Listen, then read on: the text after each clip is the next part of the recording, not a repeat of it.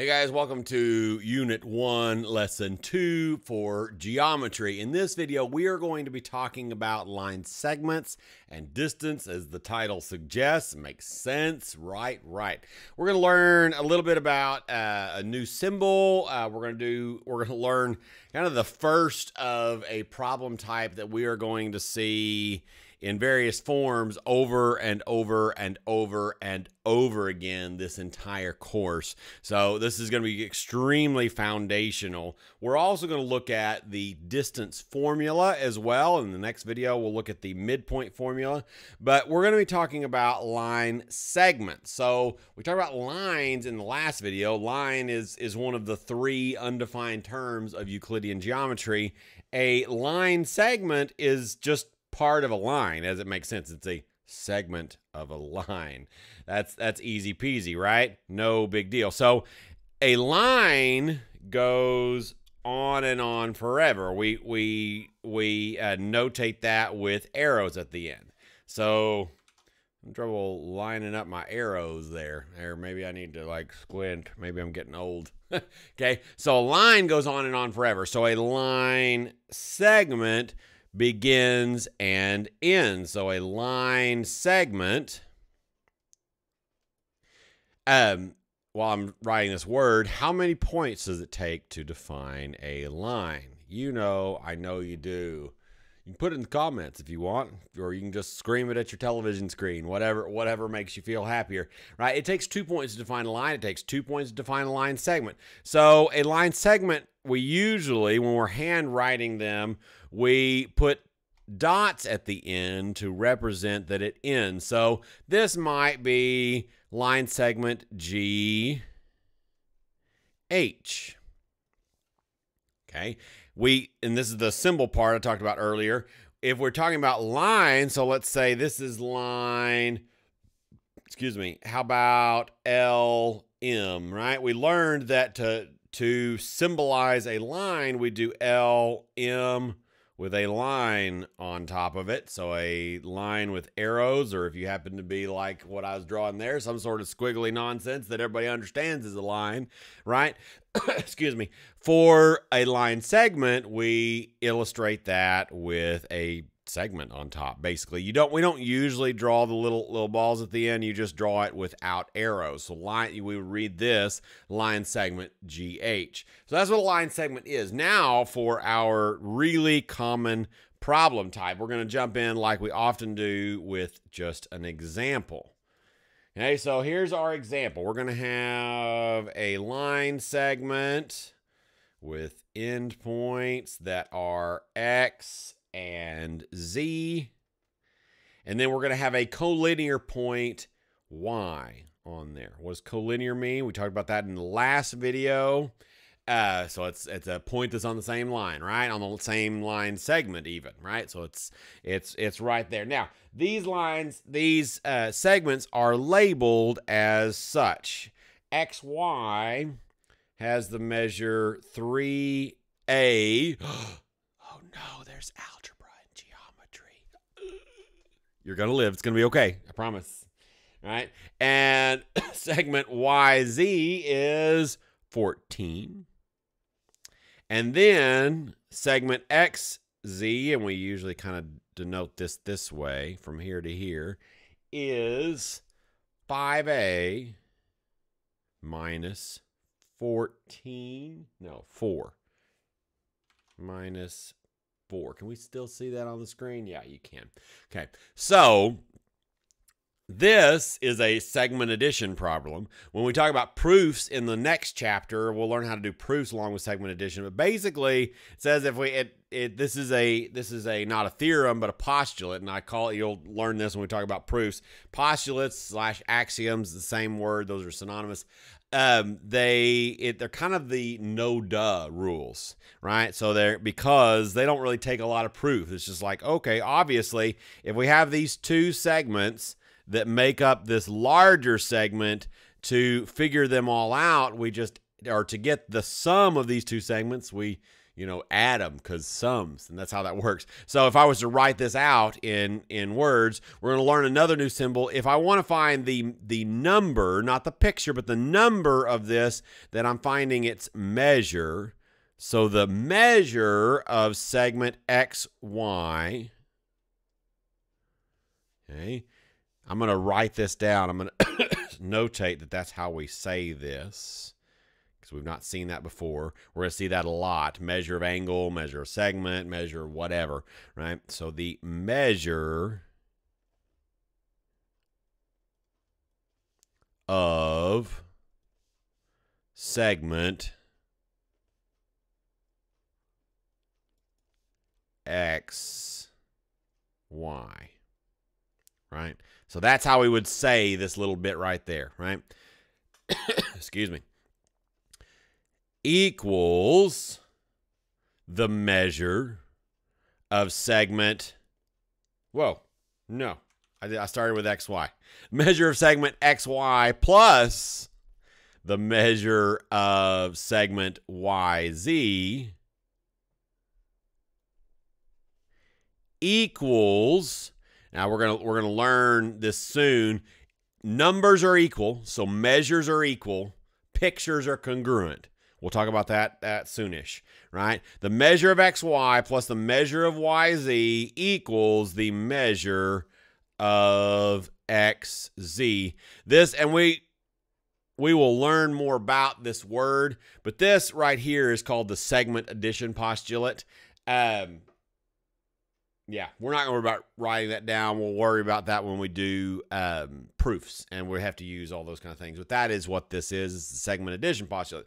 So you probably have already figured out the punchline of this particular example, right? In this particular example, we're trying to. The instructions would say solve for a, right?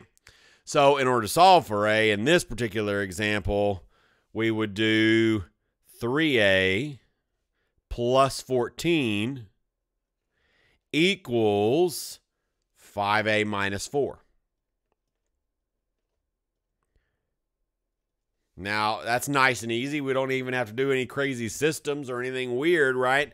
We just have one equation with one variable. We can solve that like it's nothing. So let's do that real quick. So here we're going to get our um, numbers together. So let's, how about subtract 14 from both sides? Those 14s cancel, leaving us with just a 3a on this side equals 5a. And the negative 4 minus 14, remember your integer rules would be negative 18, right? The signs are the same, so we add and keep the sign. Keep keep track of those. I know you're prob probably just coming out of algebra 1 into this course, so keep all of those things keep all of those things straight. Right? So now let's get our A's together. So we're going to in order to move this 5A, we're going to subtract the 5A from this side. If we do it from that side, we got to do it from this side. So minus 5a over here. Those cancel. 3a minus 5a, the signs are different. And so we're going to subtract and keep the sign of the bigger. So it's going to be negative 2a equals negative 18. Last but certainly not least on this particular problem is we have this negative 2 multiplied onto the a. So to get rid of it, we do the its inverse. And so we're going to divide by negative 2, divide on this side, divide on that side. Those cancel, leaving us with a equals positive 9. So we're going to see this a lot. This type of problem where we have some algebra, some letters stuck into a theory eh, or a theorem or a postulate or some other geometry picture and we've got to do in order to do the algebra we have to understand the geometry. So we're going to see this repeatedly repeatedly repeatedly. Let's look at the distance formula. Let me flip a couple pages in the book over here.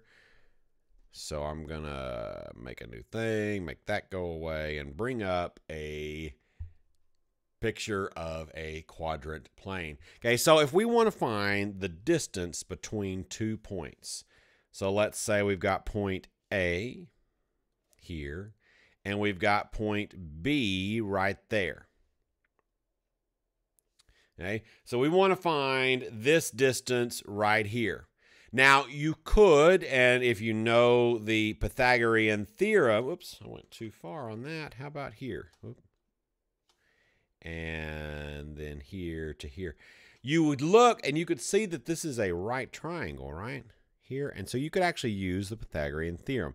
The distance formula is actually based on the Pythagorean theorem. I don't know if I said this in this video or I'm distracted and I said it before. So if I'm repeating myself at this point in this video, there it is. But we could actually derive the distance formula from the Pythagorean theorem. If I get bored one day, I'll make that video. I may have already said that. I don't remember whether I said it before when I was thinking about what I was going to say in this video or on the video, but either way, it's fine. So the distance formula is we have a couple points here. Assuming that these are, since they're not labeled, we pretty much have to assume that these points are, or all the um, interval on this, this thing. Let's see, let me move this over a little bit, is ones, right? So this B would be the point one, two, three, four, two, right?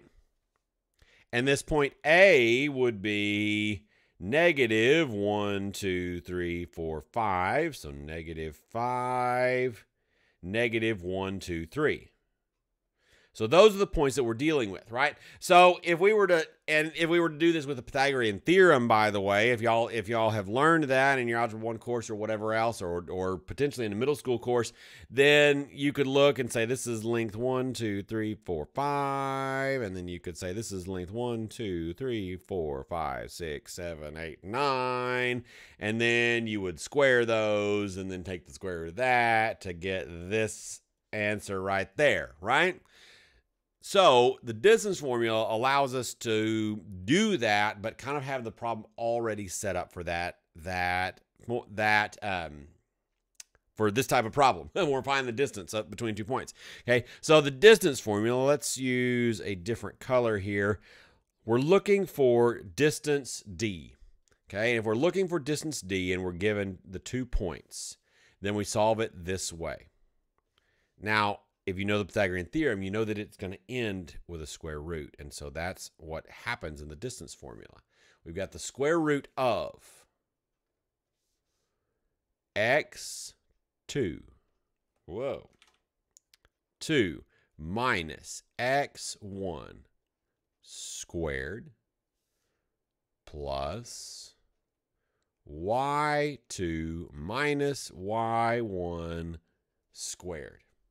That is the distance formula right there. You need to rememberize that one. It needs to be in your noggin if it's not already. You may have seen this formula before. Sometimes it shows up in Algebra 1, 1 classes, and sometimes it doesn't. It kind of depends, all of that kind of stuff. Um, on if you came from public school, it, it, if I'm not greatly mistaken, at this point, as of the recording of this video, I'm pretty sure the distance formula is on the Algebra 1 formula sheet. So you probably have seen it at some point. But if you haven't, Merry Christmas. There it is. So in this case, if we call this point one and this point two, we can plug and chug in here, which is which is one of the reasons why formulas are nice, because because you just have to know the numbers, stick them where they go, and then just crank out the answer. So we're gonna not forget to do this square root at the end. That's a that's a common place of forgetting to do that square root, especially when you're doing the Pythagorean theorem.